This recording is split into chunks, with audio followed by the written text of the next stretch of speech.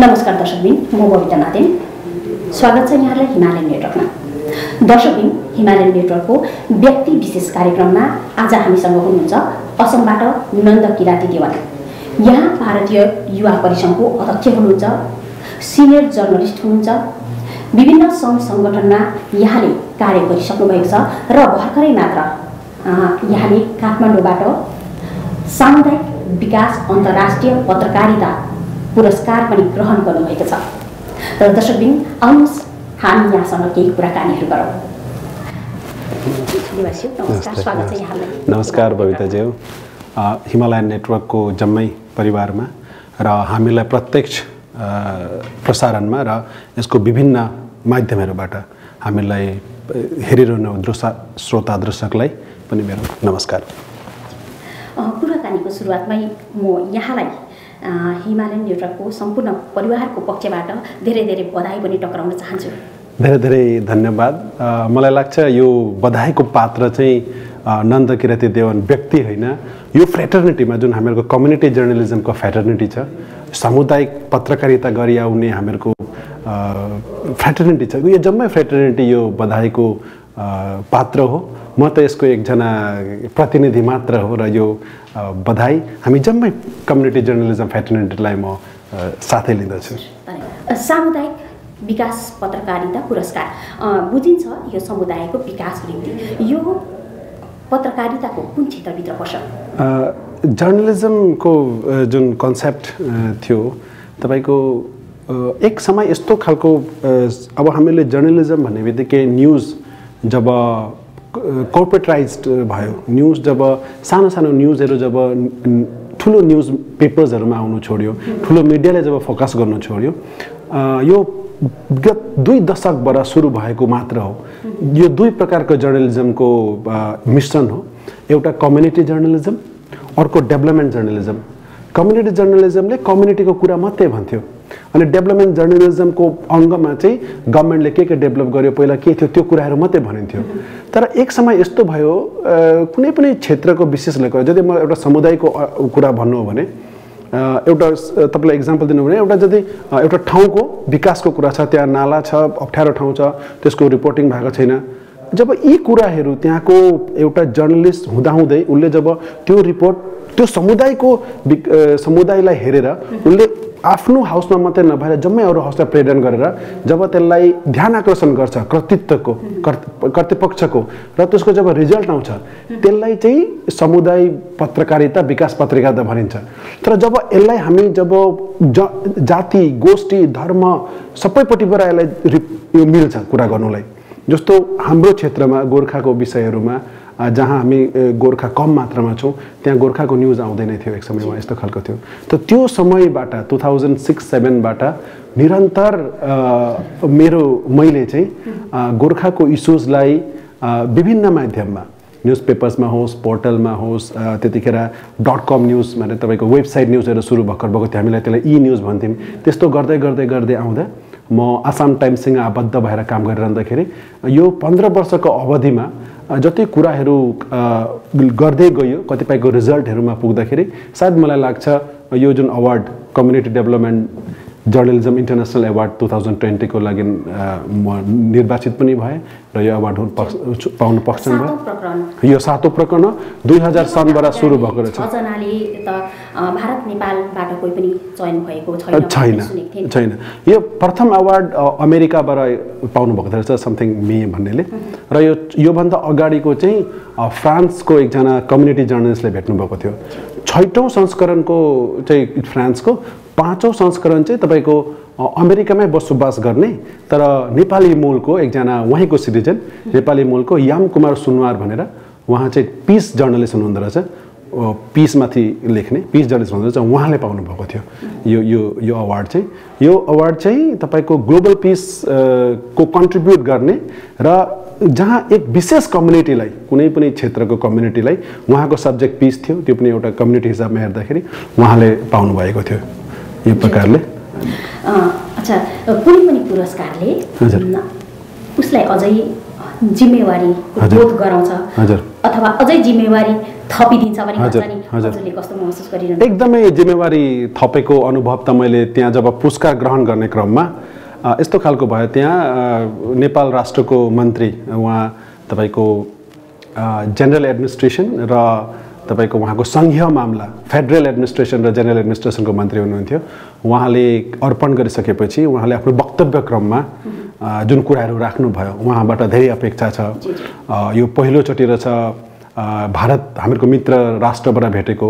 भे भारत नेपाल मित्रतामाथि उहाँले आगामी दिनमा काम गरिदिनुहुन्छ होला भन्ने हामी आशा राख्छौँ। यी प्रकारको कुरा एउटा राष्ट्रको मन्त्रीबाट आउनु र हामीबाट अपेक्षा राख्नु त्यो एउटा कुरा छँदैछ। र इन्डो यहाँ US America Nepal press club यसको संयुक्त आयोजक हो। उहाँहरूले चाहिँ स्पोन्सर गर्नुभएको छ मलाई कम्युनिटी डेभलपमेन्ट जर्नलिजमको माथि साउथ इस्ट एसिया र इन्डियालाई लिएर स्पेसल फोकस अन इन्डिया राखेर तिन महिनादेखि छ महिनाभित्रमा एउटा बुक आकारमा लेखेर निकाल्नुलाई उहाँले स्पोन्सर गर्नुभएको छ। अब दायित्व त यसै बढेको। होइन साउथ इस्ट एसिया मैले भ्रमण पनि गर्नु पऱ्यो होइन? त्यो त्यहाँ अलिकति मैले अध्ययन गर्नु पऱ्यो इन्डियामा जर्न कम्युनिटी जर्नलिजम उत्थान कसरी भएको छ?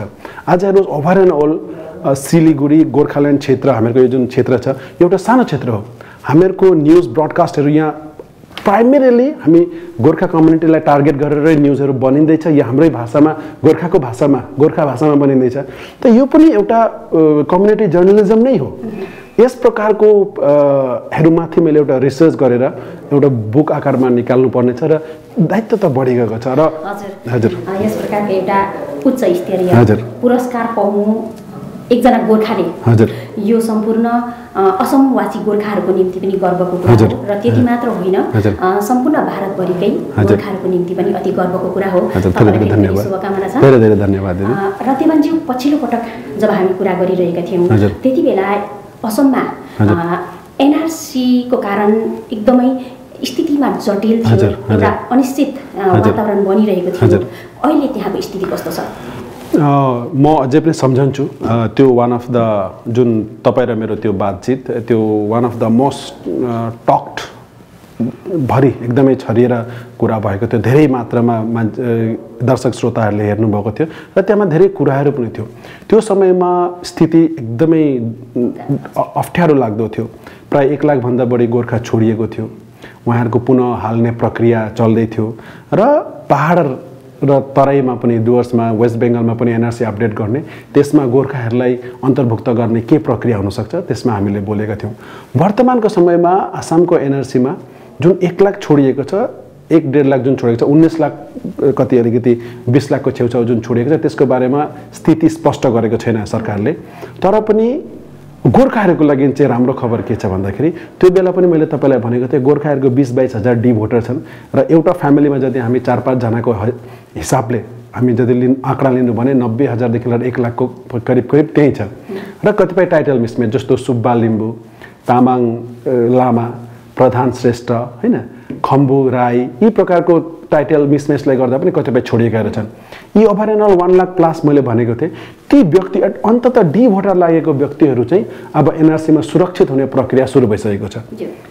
निरन्तर अखिल असम गोर्खा छात्र सङ्घको नेतृत्वमा उन्नाइस सौ छिहत्तरबाट जुन आन्दोलन सुरु भएको थियो प्राय चालिस पैँतालिस वर्ष एउटा सङ्ग्राम जातिलाई प्रतिष्ठा गर्ने सङ्ग्राम त्यसमा पछिल्लो समयमा तपाईँको असम गोर्खा सम्मेलन असम नेपाली साहित्य सभा र तपाईँको जिएससिडिसी जस्तो सङ्गठनहरूले जसले जसको अध्यक्ष हर्कबहादुर छेत्रीले छ सौ किलोमिटर हिँडेर एउटा सारा भारतमा एउटा उदाहरण सृष्टि गरिदिनु भयो यी सब सङ्ग्रामको फलमा र भारतीय गोर्खा परि परिसङ्घ छात्र सङ्गठन हुनको नाताले यी सबै सङ्गठनको एकदमै सहयोगमा सुप्रिम कोर्टसम्म गोर्खाहरूले लड्ने केस भएको नाताले कता न कता एउटा भयङ्कर प्रेसर गभर्मेन्टमा पनि सृष्टि भयो।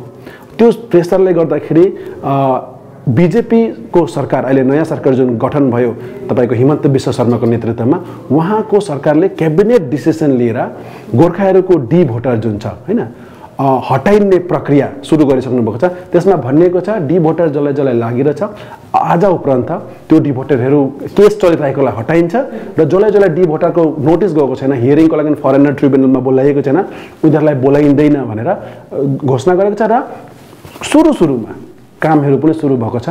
जोरहाटको फरेनर ट्रिब्युनलबाट फर द फर्स्ट टाइम एकैचोटि उन्तिसजनाको रिसेन्टली आजभन्दा प्राय तपाईँको सेप्टेम्बर महिनाको नौ तारिक उन्तिसजनाको एकैचोटि केस विथड्र गरा गयो त्यहाँ त्यो त्यो त्यो जुन उसको भर्डिक छ भर्डिकमा असम सरकारको क्याबिनेट डिसिसनलाई तोकेर हामीले विथड्र गऱ्यौँ भनेर केस विथड्र गरेको भनेर जति जो जुन पार्टीले केस दिएको उसले विथड्र गर्दा केस सक्यो।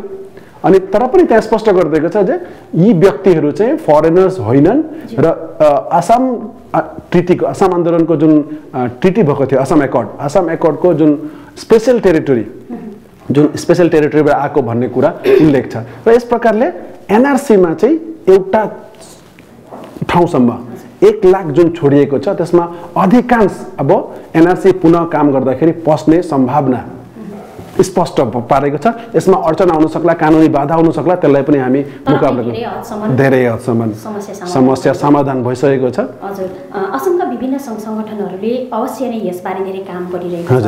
गरेको थियो है। तपाईँलाई मैले सोध्नु पर्दाखेरि तपाईँको विचारमा सङ्घ सङ्गठनहरूको प्रयासको कारण यो सफल भएको अथवा भाजपा गभर्मेन्टको गोर्खा प्रेमलाई यहाँ ज्यादा मान्नुहुन्छ?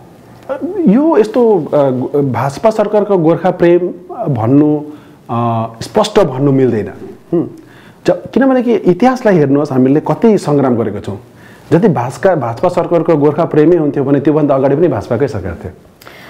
सर्वनन्द सोनोवाल हजुर। र अहिलेको मुख्यमन्त्रीको तुलनामा वर्तमान मुख्यमन्त्री अलिक उदार छ कि जस्तो लाग्छ नि?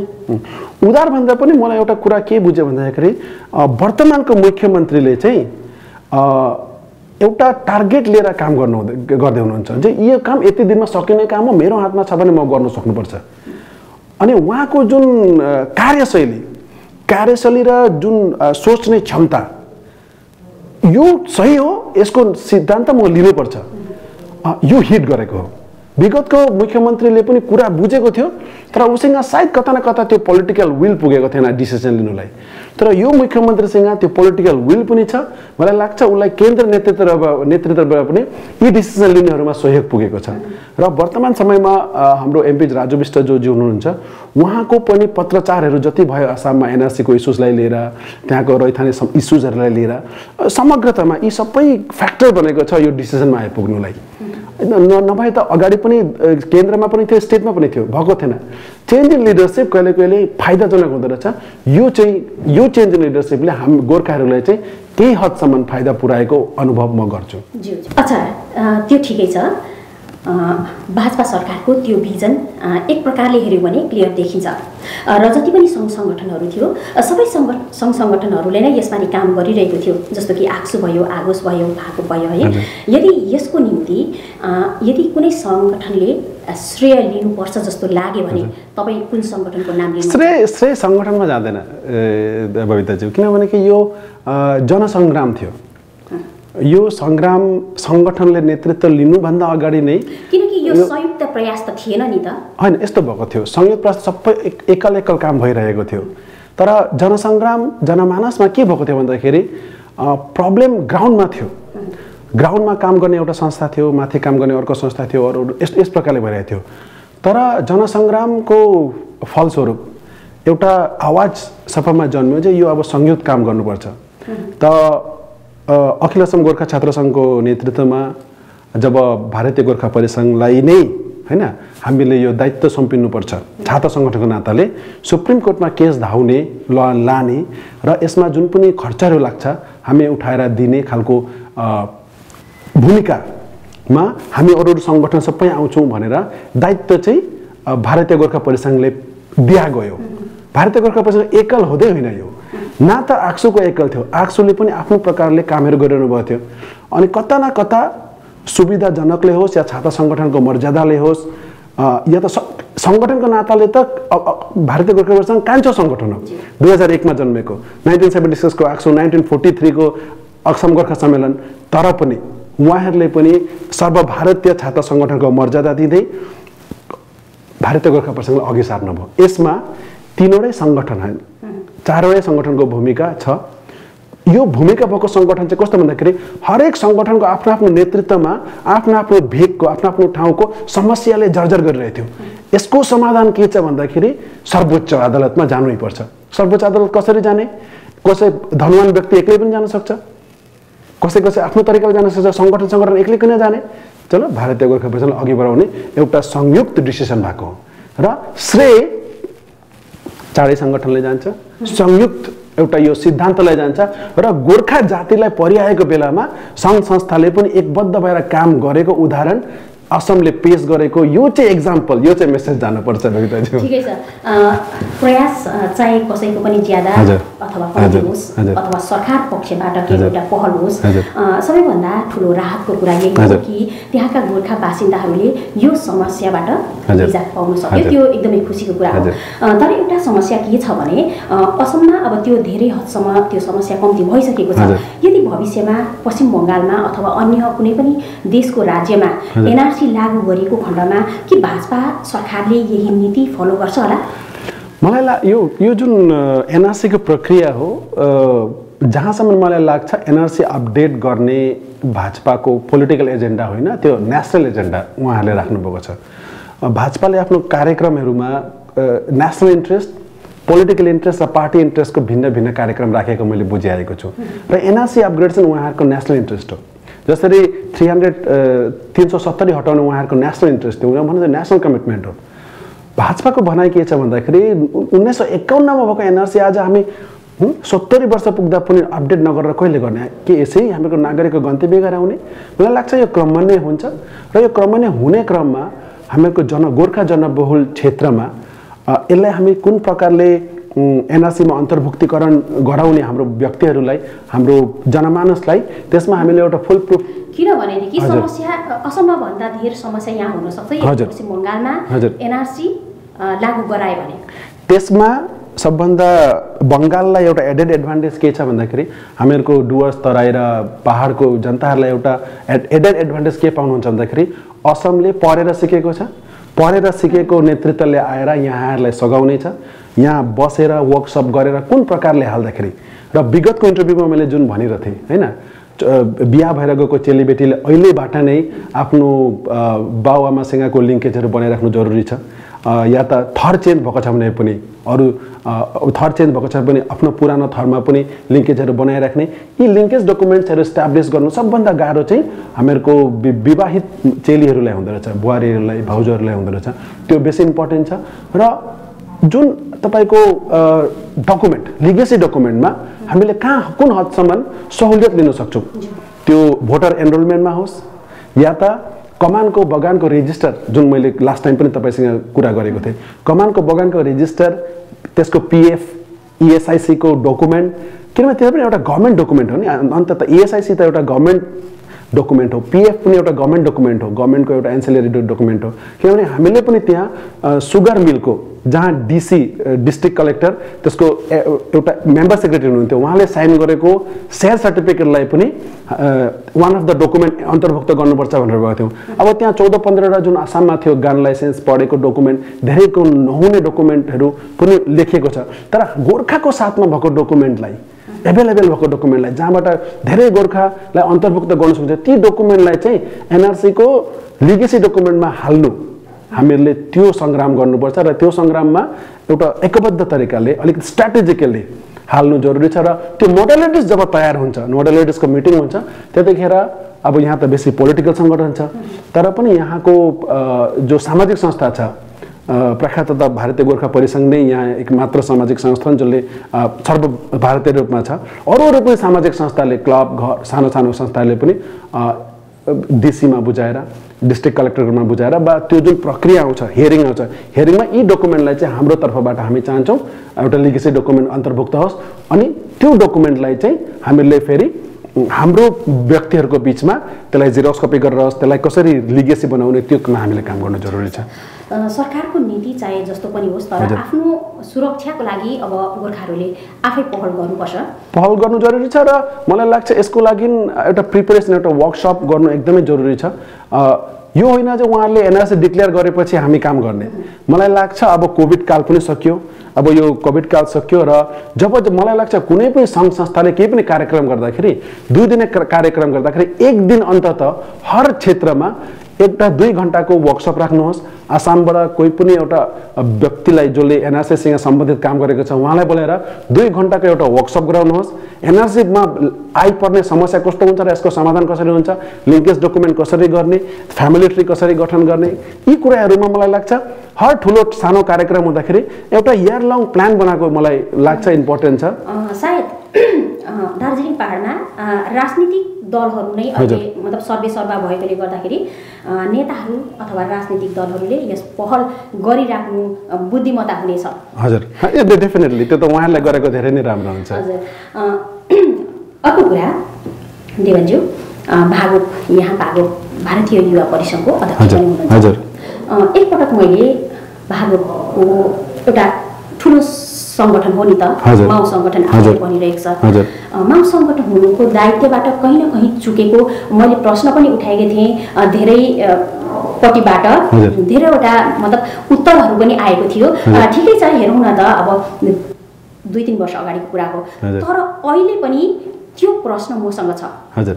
यसको समाधान तपाईँले कसरी भागोलाई आजको दिनमा राष्ट्र सङ्गठन भारतभरिका छरिएर बसेको गोर्खाको एकमात्र यस्तो सङ्गठन हो जो चाहिँ छात्र सङ्गठन हो प्राय बिस बाइसवटा राज्यमा हामी काम गरिरहेको छौँ। धेरै इकाइहरू छ। राष्ट्रिय हितको समस्या राष्ट्रिय हितको माग भारतीय गोर्खा परिषदले बोकी पनि आएको छ बोकी पनि रहेको छ। तर। समाधान चाहिँ भएको छैन त्यसमा मलाई दिमत छैन होइन? तर हेर्नुहोस् न अब हामी उत्तर प्रदेशमा हामी ओबिसीको मागमा हामी लागिरहेका छौँ। उत्तराखण्डमा पनि हाम्रो ओबिसी एसटीहरूको माग छँदैछ। मागहरू विभिन्न ठाउँमा भिन्न भिन्न खालको छ। अब असममा त अहिलेसम्म जनजाति लिम्बू तामाङ पनि जनजातिभित्र परेको छैन। छैन। यसमाथि चाहिँ तपाईँले के गर्नुहुँदैछ? त्यो अब त्यहाँ म आउँदैछु होइन? कस्तो छ भन्दाखेरि एउटा सर्वभारतीय सङ्गठनको लागि एउटा मुद्दा बोकेर हिँड्नु अप्ठ्यारो रहेछ। एकमात्र मुद्दा सबैलाई जोड्ने मुद्दा भनेको गोर्खाल्यान्ड जो भारतीय गोर्खा परिसङ्घको पनि एक नम्बर माग हो एक मात्र डिमान्ड हो ठिक छ? अरुणाचल प्रदेशमा पिआरसीको कुरा थियो मणिपुरमा आइएलपीको कुरा छ त्यसमा काम भए गरिरहेको छौँ भइरहेको छ सहुलियतहरू लिइरहेको छौँ। तपाईँको मिजोरममा पनि ओबिसीको इस्यु छ तपाईँको गुवाहाटी हाइकोर्टमा केस इस्यु गरिसक्यो भइसकेको। तर उहाँको स्टे लगाइदियो हाइकोर्टबाट ल्याएर त्यसमा काम भइरहेको छ। मन मेघालयमा पनि त्यही प्रकारको इस्यु छ। अहिले त्रिपुरामा हामीहरूको कामहरू भइरहेको छ। विभिन्न खालको इस्युज छ। तर हामीले एक सूत्रमा बाँध्ने भनेको गोर्खाल्यान्डको इस्यु र अर्को इस्यु हामीलाई एक छत्रमा लगेको छौँ जुन हामीले देहरादुनमा डिक्लेयर गरेको थियौँ देहरादुन डिक्लेरेसनमा जे यसपालिको सेन्ससमा होइन? जात भातमा विभाजन नगरिकन एक तालको लागि अन्तत आजभन्दा दस वर्ष पछिको पछाडिको कुरा गरेको यो सेन्ससमा चाहिँ सबैले जातको नाममा गोर्खा होइन? भाषाको नाममा तपाईँले इच्छा अनुसार गोर्खा कि गोर्खा भाषा कि नेपाली लेखेर गोर्खा भाषा भन्दाखेरि हर जनजातीय भाषालाई पनि इन्क्लुड गरेको र नेपाली भाषा चाहिँ हाम्रो लिङ्गवा फ्रेङ्कवा अरू साथमा यो एउटा प्रायवाची शब्दको आकारमा लिएर यसपालि फिलअप गरिदिनुहोस्। र यसपालिदेखि हामीहरूको एउटा राम्रो डेटा आओस्। विरोध छ। विरोध छ होइन हो म भन्दैछु मैले त्यही कारणले भनेको विरोध छ आजको दिनमा लिम्बूहरूले भन्दैछ हामी लिम्बू नै लेख्छौँ। भाषा हामी लिम्बू लेख्छौँ तर हामीले भनेको छौँ यो त हामीले त सर्वकालको लागि भनेको होइन जस्ट टु थाउजन्ड वान यो इलेभेन सेन्ससलाई आफ्नै क्षेत्रमा यहाँहरूले सम्झाउन सक्नु भएन भने सर्वभारतीय स्तरको गोर्खाहरूलाई कसरी सम्झाउनुहुन्छ?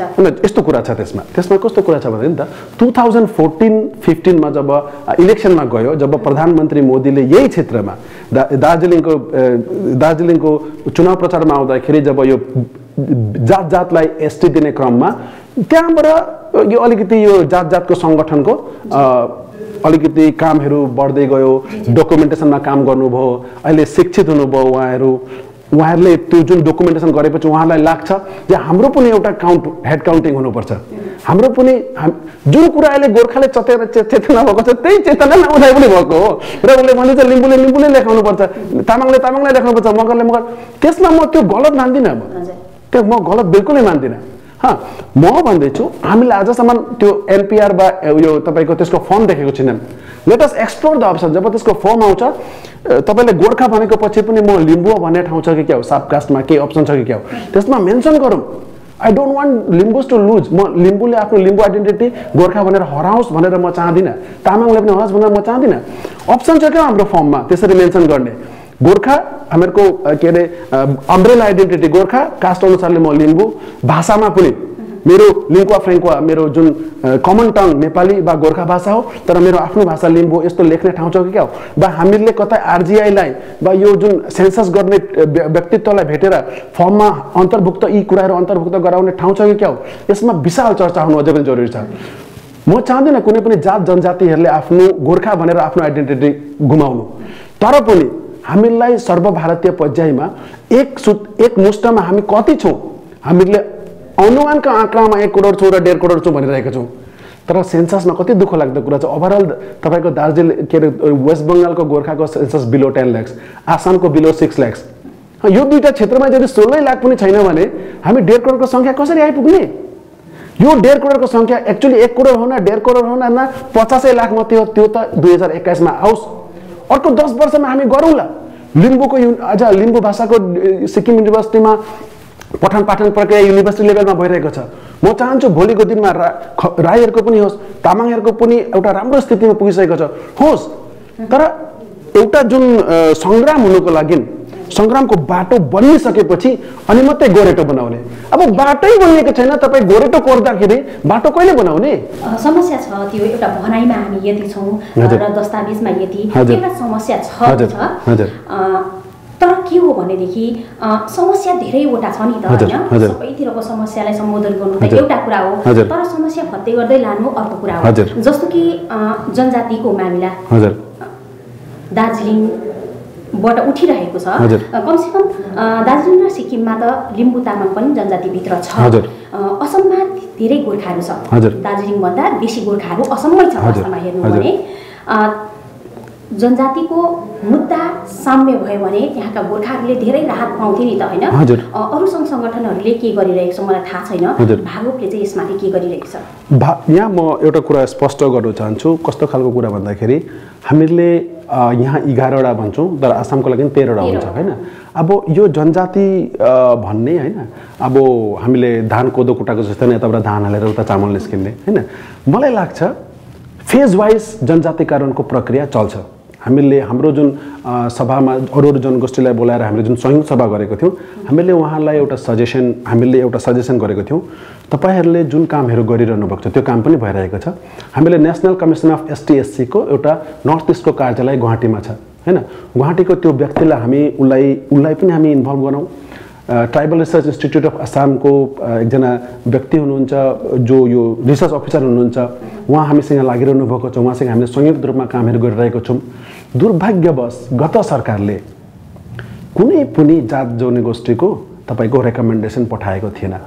यसपालि हामी संयुक्त रूपमा लिम्बूलाई पनि हामी लिएर भागोप पनि गएर होइन हामी के अनुभव दिन सक्छौँ? विगतको दिनमा हामीलाई कतिवटा मेमोरेन्डममा यो मेन्सन गरेको छौँ जे असम सरकारले हामीले आफ्नो स्टेटमेन्टहरूमा नै भनेको छौँ बङ्गालमा बिजेपीको सरकार छैन अनि उहाँ एमपी बिजेपीको हुँदाहुँदै पनि राज्य सरकारले त्यहाँको एसटी पाउनुपर्छ भनेर रेकमेन्डेसन भारत सरकारलाई पठाएको छ बिजेपीको सरकारलाई।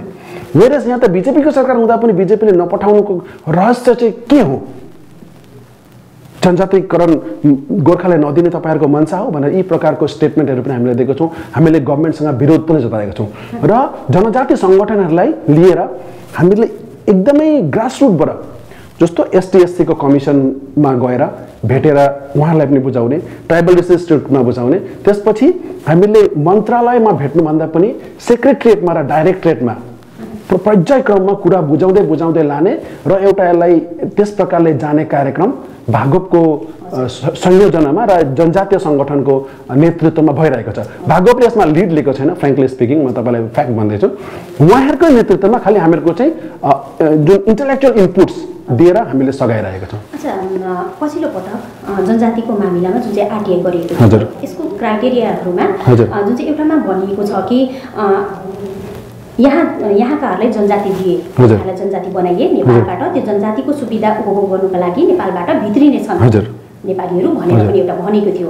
यसबारे भागवतको भन्नु के छ यसमा यो राष्ट्रको यो राष्ट्रको जवाब हो भने चाहिँ होइन यो यदि एउटा प्रपर च्यानलमा भारत सरकारकै यो मुखमण्डलबाट वा भारत सरकारकै उच्च पदस्थ अधिकारीहरूको सम्झनामा मन मस्तिष्कमा आएर यदि यो भनिएको हो भने चाहिँ भारत सरकारको आफ्नो इन्टेलिजेन्स टोटल फेलियर भन्नु हामी मिल्छ। यदि यदि तपाईँ होइन यी साधारण कुरा यो त साधारण कुरा हो नि त। यो त यो त यो त कहीँ आएर बम ब्लास्ट गरेर केही गर्ने खालको कुरा होइन। उहाँहरूको के भनिदिनुहुन्छ एउटा श्रेणी मान्छे आउँछ यहाँ कमाएर खान्छ हामीलाई हामीहरूको उयो बिग्रिन्छ। यदि तपाईँको इन्टेलिजेन्स यति फेल छ जे यो गर्दाखेरि उहाँबाट रोकथाम गर्ने तपाईँको व्यवस्था छैन त्यसो भने तपाईँ जुन कुर्सीमा बसेर ब्युरोक्रेसी गरिदिनुहुन्छ त्यो तपाईँको फेलियर हो। इट्स अप टु यु तपाईँको दायित्व हो नि त्यो त। तपाईँको घरको कुन कुनाबाट के आउँछ कता थुन्नुपर्छ यो गर्दाखेरि के हुन्छ यताखेरि यता यताको ढल खोल्दाखेरि कताको पानी बग्छ यदि तपाईँलाई त्यो थाहा हुँदैन भने तपाईँ के काम गर्दै त्यो पनि ठिकै हो र अर्को कुरा के हो भनेदेखि त लिम्बू तामाङ त अलरेडी जनजातिमा छ नि हजुर। नेपालको लिम्बू तामाङहरू त सबै यता आउनु पर्ने नि त फेरि होइन? आएको छैन। आएको जे होस् यसमाथि काम गरिनुपर्छ। होइन काम गरिनुपर्छ र यसलाई कस्तो खालको छ भने नि त हामीले बिचमा यो देहरादुन डिक्लेरेसनमा हामीले एउटा सजेसन पनि गरेको थियौँ। त्यसमा हामीहरूको अझै एकमत हामी एकमतमा आइपुगेको छैनौँ। भारतीय गोर्खा परिसङ्घले यसलाई नेतृत्व लिनु नचाहेको चाहिँ होइन नसकेको पनि होइन। हामीले एउटा सजेसन गरेको थियौँ। ट्राइबल मिनिस्ट्री मोटा जुन मिनिस्ट्री अफ ट्राइबल एफेयर्समा जुन जुन पुरानो व्यक्तिहरू सेक्रेटरी वा डेपुटी सेक्रेटरी अन्डर सेक्रेटरी जसले डिलिङ एसिस्टेन्ट भनिन्छ फाइल डिल गर्नेहरूलाई उहाँहरूलाई गोर्खाहरूको एउटा सामूहिक सङ्गठनले एसटीको लिएर जुन सामूहिक सङ्गठनहरू बनिएको छ ती सङ्गठनहरूले उसलाई एज ए कन्सल्टेन्ट अपोइन्ट गरेर एउटा एसटी हुने प्रक्रियामा चाहिँ कस्तो कस्तो पेपर प्रेजेन्टेसन गर्नुपर्छ के के बनाउनुपर्छ फाइल कसरी पुटअप गर्नुपर्छ होइन? अहिले त हामी बहुत समय अँध्यारोमा तीर हानेको जत्तिकै मिनिस्ट्रीलाई बोलायौँ डिपार्टमेन्टको मान्छेलाई बोलायौँ देखायौँ हामी यस्तो खान्छौँ यस्तो नाच्छौँ यस्तो लगाउँछौँ। ठिक छ त्यो त गर्दैछौँ। तर प्रपर डिलिङ त्यसको रुट के हो? कुन डिपार्टमेन्टमा फाइल जान्छ कुन सेक्सनमा जान्छ कुन एसिस्टेन्टमा जान्छ के छ त्यसको गुट्टै हामीलाई थाहा भएको भनेर हामी ठान्दछौँ। तर भित्र बसेको मान्छेलाई थाहा हुन्छ। आज तपाईँ र मेरो यो एउटा प्रत्यक्ष प्रसारण हिमालयन नेटवर्कमा देखिँदैछ। यसको अगाडिपट्टि क्यामेरा एउ- एउटा छ न दुईवटा छ। त्यो त हेर्ने मान्छेलाई थाहा छैन नि त। के के सामग्री अगाडिपट्टि राखिएको छ? प्रसारणै श्रोताले देख्दै हुनुहुन्छ श्रोताले त देखेको कुरा भन्छ यसरी बोल्छ भनेर। त त्यो कुरा हामीलाई थाहा गर्नु जरुरी छ। र कता न कता एउटा कन्सल्टेन्ट एपोइन्ट गर्नु जरुरी छ तर यसमा एउटा संयुक्त प्रयास चाहिन्छ। र यो एघारै एघार होइन कि तेह्रवटै जात गोष्ठीकोलाई लिएर उहाँलाई एउटा एउटा प्रोफेसनल होइन प्रोफेसनल मान्छे हायर गरेर कन्सल्टेन्ट हायर गरेर मोटै त्यो चाहिँ मलाई लाग्छ डेपुटी सेक्रेटरी वा अन्डर सेक्रेटरी वा जोइन्ट सेक्रेटरी लेभलको एउटा रिटायर्ड मान्छेलाई लिँदाखेरि चाहिँ हामीलाई सुविधा हुन्छ जस्तो लाग्छ। ठिकै छ देवानजी देवानजी है त्यो कुरा। विशेष गरेर गोर्खाको अहिले दुईवटा समस्या देखिएको छ राष्ट्रिय स्तरमा एउटा। पाहाडको समस्या हो। र पाहाडको समस्या मात्रै समाधान गरिए पनि त्यो सर्वभारतीय स्तरको गोर्खाको समस्या समाधान हुँदैन। र अलग अलग दुईवटा समस्या देखिएको छ।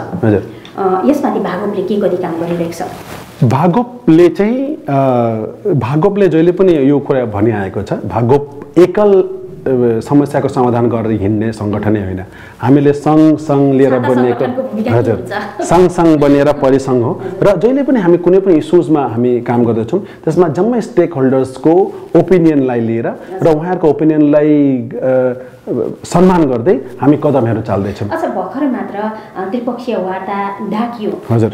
यसमा भागवतको एउटा सुझावसम्म लिएन जबकि भागवत एउटा सर्वभारतीय स्तरको एउटा छाता सङ्गठनको माउ सङ्गठन हो हजुर, भनिन्छ। तर। एउटा सुझावसम्म लिएन नि। यो चाहिँ पोलिटिकल डायलग थियो। भारतीय गोर्खा परिसङ्घ नन पोलिटिकल एन्टिटी र त्यसको लागि हामी गएनौँ पनि निम्तो पनि थिएन ठिकै छ। तर हेर्नुहोस् त्यहाँ एउटा कुरा थियो सुन्नु।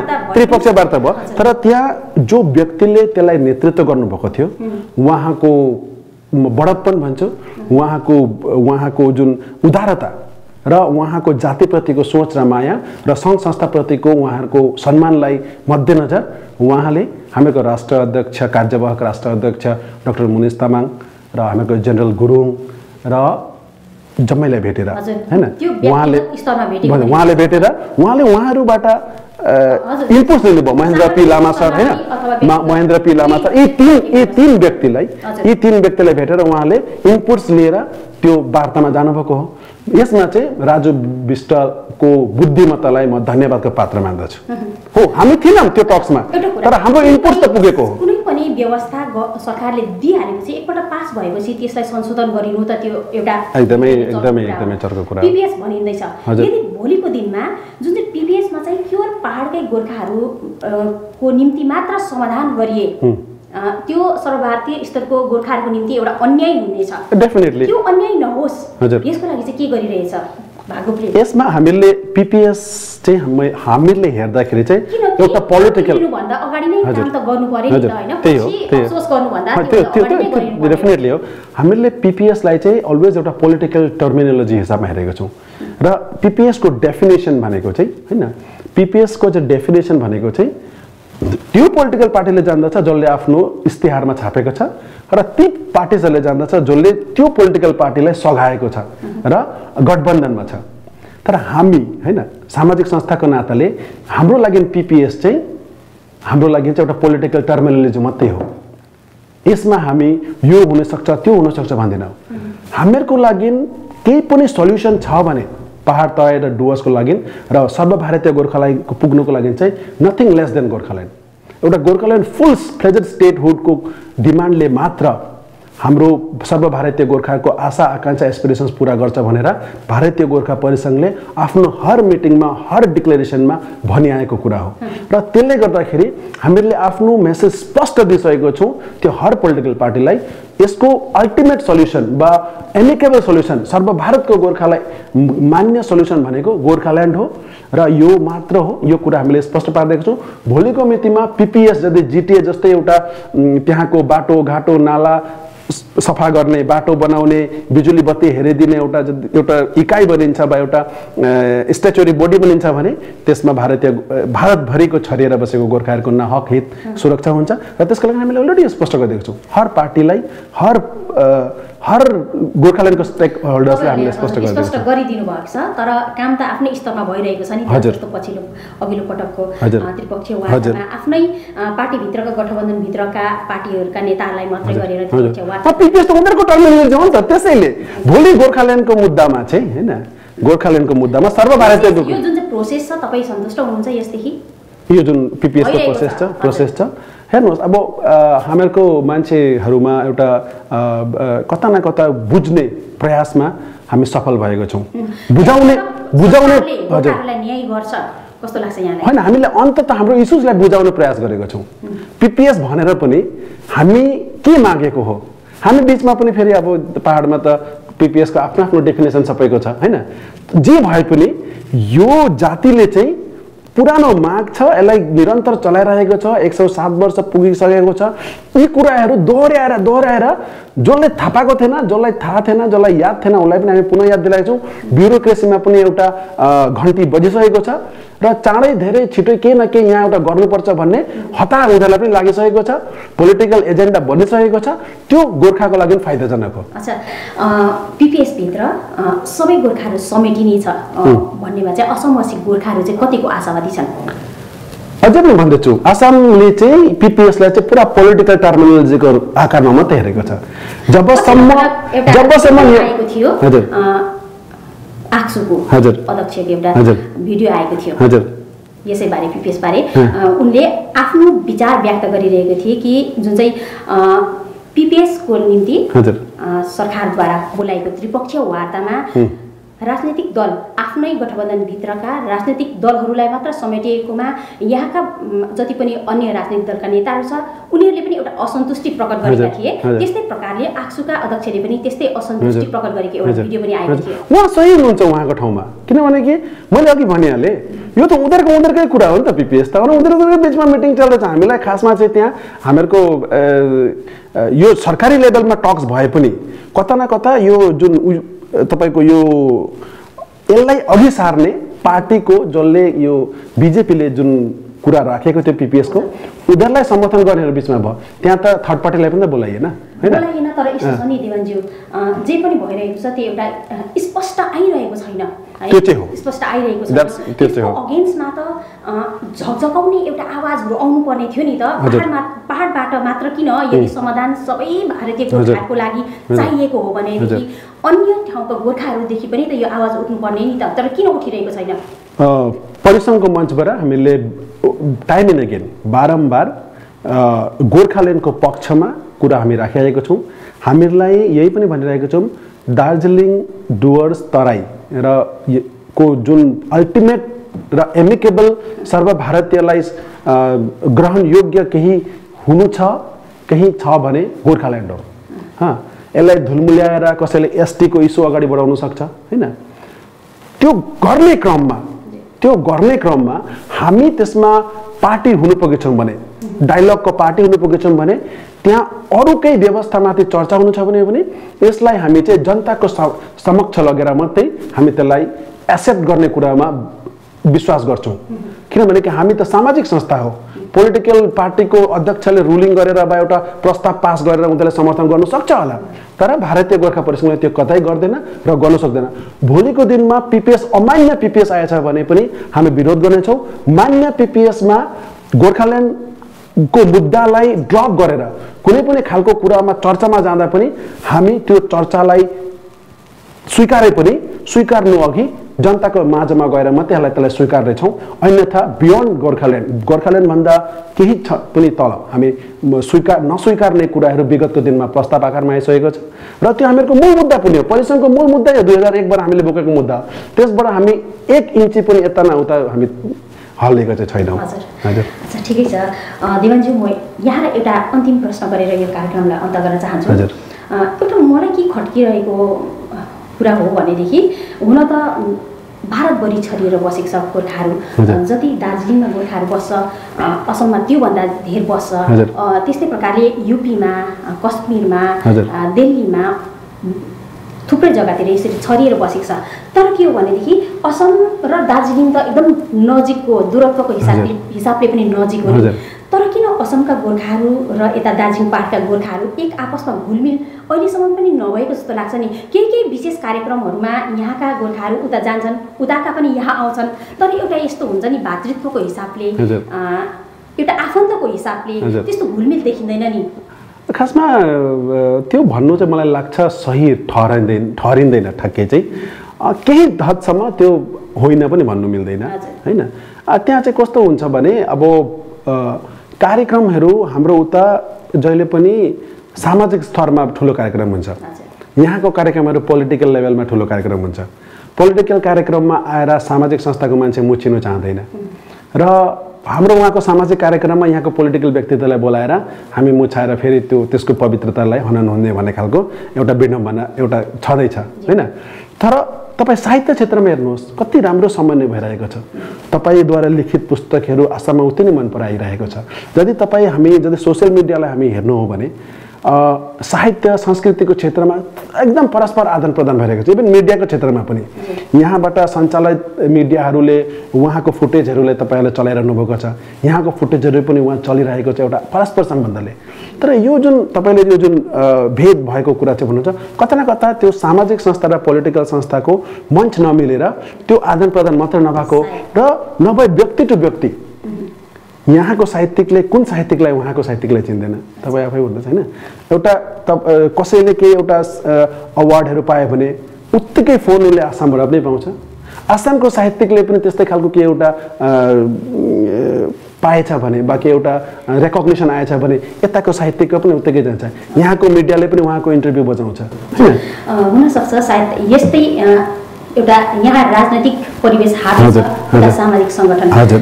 यो यस्तो पनि हुनसक्छ हामी आशा गरौँ कि आउने दिनहरूमा यो आफ्नोपन भाइचारा दुई राज्यको गोर्खाहरूमा एक आपसमा बढेर जाओस्। मैले तपाईँलाई अघि नै अन्तिम प्रश्न भने तर म अझै एउटा अन्तिम प्रश्न गर्न चाहन्छु यहाँलाई है। यहाँ पत्रकार पनि हुनुहुन्छ। पत्रकारितामै भर्खरै पुरस्कार पनि पाउनुभयो। एकजना पत्रकारको पत्रकार हुनुको हैसियतले वर्तमान दार्जिलिङको राजनैतिक परिवेशलाई यहाँले कसरी हेरिरहनु भएको छ? मलाई लाग्छ हामी दार्जिलिङको जुन पोलिटिकल स्पेक्ट्रममा हामी धेरै बार मौका पाएर धेरै बार चुकेको छौँ। हामी डाक डाक जिरोज पनि स्कोर गरेको छौँ कहिले एउटा फोर हानेर आउट भएको छौँ कहिले छक्का हान्नेमा हामीले विकेट गवाएको छौँ अनि ठुलो स्कोरै गर्न सकेको छैनौँ। यो ठुलो स्कोर गर्नुलाई चाहिँ कता न कता टिमको फेरबदल गर्नु जरुरी छ। नयाँ कप्तान पनि कता न कता बन बनाउनु जरुरी छ। धेरै कप्तानहरू ट्राई गरिसकौँ। प्राय कप्तानहरूले अलिकति त्यो रिजल्ट दिन सकेको छैन। र अब टिम म्यानेजमेन्ट भन्दाखेरि जनताको जनताले चाहिँ कता न कता एउटा नयाँ टिमलाई मौका दिने समय आएको छ र कप्तान पनि फेर्ने समय आएको छ। मलाई लाग्छ ओपेनर्सहरू पनि फेर्नु पर्ला कि। होइन अब होइन त्यसो विकेट किपर पनि भने। नयाँ सुरुवात गर्नु एकदमै जरुरी छ र यसमा मिडियाले पनि भूमिका खेल्नुपर्ने जरुरी छ। मैले अघि नै भने मैले कम्युनिटी जर्नलिजम माथि यो अन्तर्राष्ट्रिय पुरस्कार पाएको युएसले यसलाई स्पोन्सर गरेको छ। नेसनल प्रेस क्लब अफ नेपालले यसलाई दिए भए पनि। कम्युनिटी जर्नलिजम गर्ने तपाईँ हामी जस्तो मिडिया पर्सनालिटीहरूले धेरै पत्रकारहरूले जसले एकदमै गरिरहनु भएको छ। हामीले पनि यो सचेतनतामा सचेतनता मात्र नभएर एउटा निरन्तरताले इस्युजहरूलाई लगिरहेको छौँ। तर विडम्बना यस्तो छ यो कुराहरूलाई मूल्याङ्कन गरिदिने होइन एक पक्ष मूल्य मूल्याङ्कन गरिदिने एक मुष्टमा अ, कुराहरू राखेपछि त्यसलाई अझै डिबेट गरिदिने प्रचलन थिएन। अहिले सोसियल मिडिया डिजिटल माध्यममा यो प्रचलन आएको छ र यस्तो ठाउँमा हामीले एउटा एक्सट्रिम रोल प्ले गर्न सकिन्छ। हामीले जवाबदेही गर्न सकिन्छ इस्युजहरूमा त यो खालको जुन कार्यक्रमहरू आफूहरूले चलाइरहनु भएको छ यहाँहरूले चलाइरहनु भएको छ यसमा म नतमस्तक छु र यसले पक्कै पनि पब्लिक ओपिनियन बिल्डिङमा सहायक पुर्याएको छ र आगामी कम समयमा नै यो नयाँ टिम बनिने क्रममा यहाँहरूले गरेको जुन पत्रकारिता छ यहाँहरूले गरेको जुन प्रयास छ त्यो प्रयासले कता न कता फल ल्याउँछ भनेर म आशावादी छु र एज पत्रकार म यहाँको कम्युनिटी जर्नलिस्टहरूलाई र प्रपर मिडिया हाउसमा आफ्नो निरन्तर सेवा पुर्याइरहेको गोर्खा गोर्खाहरूको विषयवस्तुलाई राष्ट्रिय र अन्तर्राष्ट्रिय पटलमा लैजाने डिजिटल माध्यममा संरक्षण गर्ने जुन व्यवस्था गरिरहनु भएको छ जस जसको लागि मैले एउटा अन्तर्राष्ट्रिय पुरस्कार पाउन सकेँ। यसमा यहाँहरूले पनि गरिरहनुको प्रति म न नतमस्तक छु र यहाँहरूकै सहयोगमा नै यो जुन मलाई आज म पुरस्कृत भएको छु यो पुरस्कारको उत्तिनै सहभागी यहाँहरू पनि हुनुहुन्छ भन्न चाहन्छु। फेरि पनि म तपाईँलाई एकपल्ट बधाई टक्राउन चाहन्छु र दिवानज्यू यहाँले यति टाढाबाट आएर हामीलाई समय दिनुभयो। धेरै धेरै धन्यवाद। धेरै धेरै धन्यवाद। नमस्ते। यहाँ हुनुहुन्थ्यो। नन्द किराती दिवान आसामबाट हुनुहुन्छ। भारतीय युवा परिषदको अध्यक्ष हुनुहुन्छ। सिनियर जर्नलिस्ट हुनुहुन्छ। र यहाँलाई सुनिरहनु भएको थियो। फेरि पनि हामी यस्तै कार्यक्रम लिएर आउने नै छौँ। यहाँहरू हेर्दै गर्नुहोला हिमालयन नेटवर्क।